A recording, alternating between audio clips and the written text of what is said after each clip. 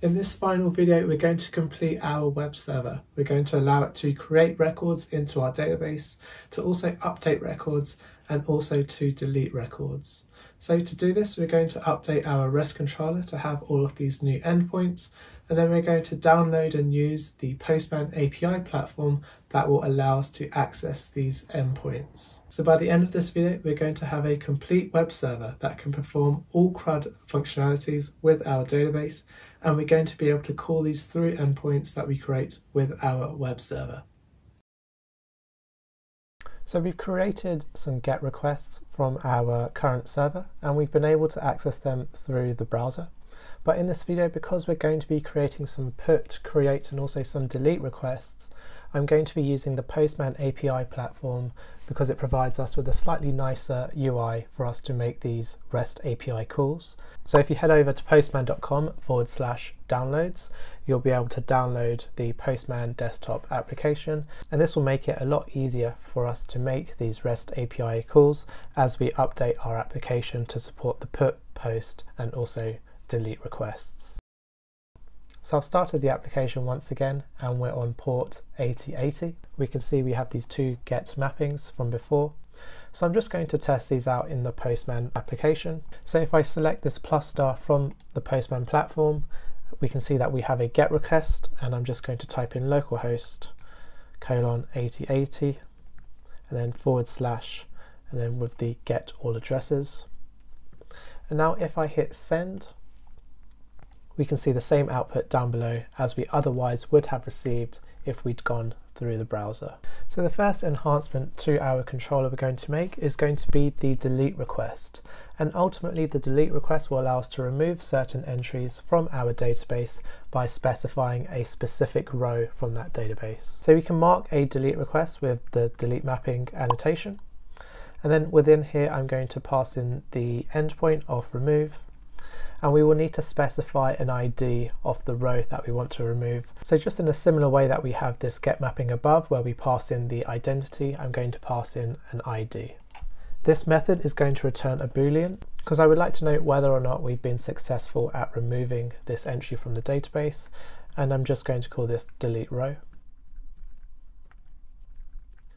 And then I'm going to define this integer as id, and this is going to be extracted from the id variable from our endpoint. What I would like to do first is to check if the database that we have contains this ID. So I'm just going to have an if statement.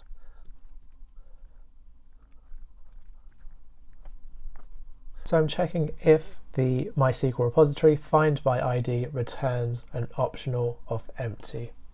And if it doesn't return an optional of empty, then we will know that the row within the database exists and that we can therefore delete it. So therefore I'm going to use the MySQL repository and I'm going to use the method delete by ID passing in that same ID and that will remove it from our database. I'm then going to return true because we've been able to remove that row from our database. But if the ID we passed in doesn't exist, I will very simply return false. So if I start the application one more time, and I head into the MySQL workbench and run the select star, we can see we have the three entries as we expect. I'm just going to copy this endpoint just at the top. And then within the Postman API platform, I'm going to create a new request. So I'm going to hit the plus button. I'm going to change the request to delete and I'm going to go to localhost, then I will do forward slash remove and then forward slash the number one. So if I send this request, we can see that down below that it's printed true to us. So now if I head back into the MySQL workbench and I run the select star one more time, we can now see the ID of one has now been removed. And if I go back to the get request for all the addresses and I send it one more time, we can now see we don't have that ID of one anymore. Now if I were to try and remove a value that doesn't exist, so if I were to try and remove number 6 and send that across, we can simply see that it's returned false back to us. So that's the delete request. Now we're going to look at how we can actually update a row within our database. So when we want to update a row within our database, we want to make a put request, and therefore we're going to need a put mapping annotation. The endpoint for this is going to be forward slash update, And one more time, we're going to need to identify which row within the table that we're updating. What I would like to do is return the updated entry back to the user from this method. So I'm going to do public address and I'm going to call it update address. The first variable within this method is going to be the path variable that we accept, so we know exactly what row we're updating. However, when we make a put request, we're going to need to specify exactly what data we're replacing it with. So when we send this put request from our server, we're going to have to attach a body to it. And within that body, we're going to contain the JSON data that we want to update our database with. So we're actually able to extract that data from the body by using request body. And when we have a JSON data, essentially it's a map of two different strings. So we have a string for the key and we have a string for the value. So I'm going to store our JSON data into a map of a string to a string. And I'm just going to call this body. So what we would like to do first is extract the address that currently exists within our database. So I'm going to use the find by ID method And then to update this address, what I would like to do is use the JSON data from our body to then set the new parameters for this address. So I'm going to do current.set street, then I'm going to obtain the value for the key of street from our body. So I'm going to do body.get and then street.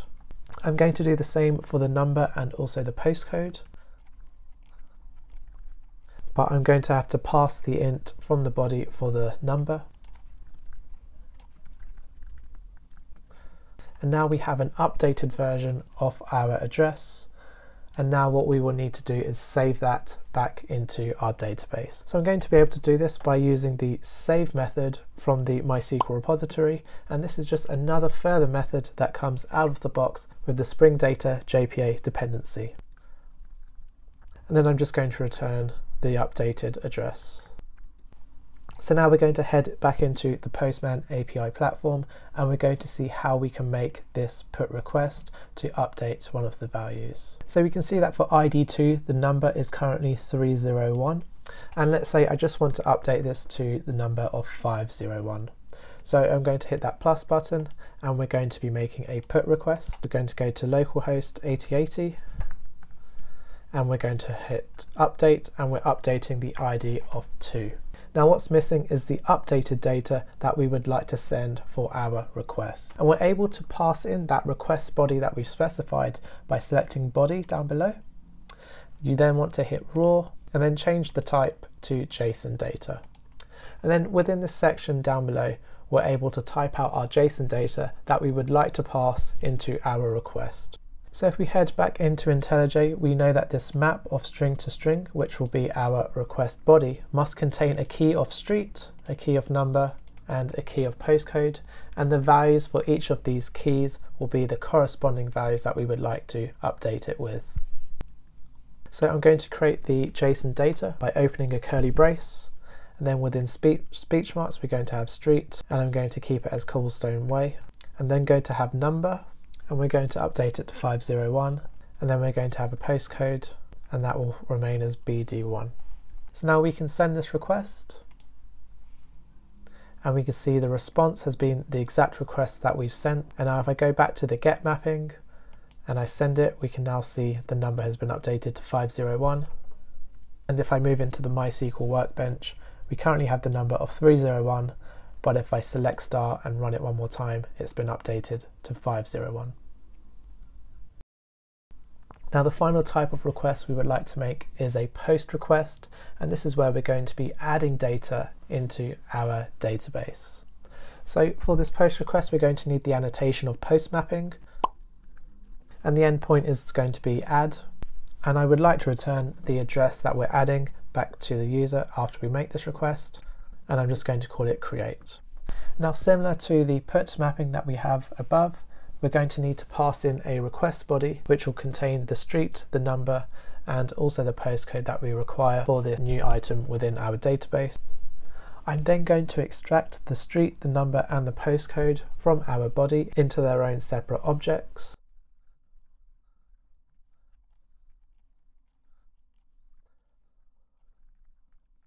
And then I'm going to create a new instance of the address and I'm going to save it into the MySQL repository just as we have done above.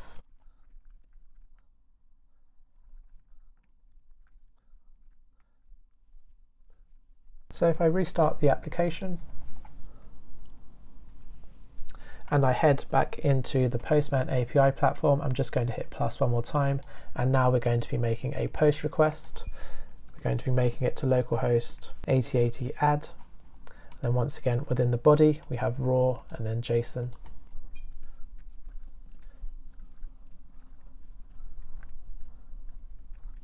and I have a street called The Drive, the number is 10 and the postcode is DR1. And now if I send this request, the response to us is the address that we've added and we can actually see that the ID has been incremented to number 4 because the maximum ID we had within the database before was number 3. We have the number 10, the street of the drive and postcode is DR1. If I head back into the MySQL workbench, we can now query our database to see if that new entry has been added and if I hit select star one more time, we can now see that new entry has been added down below.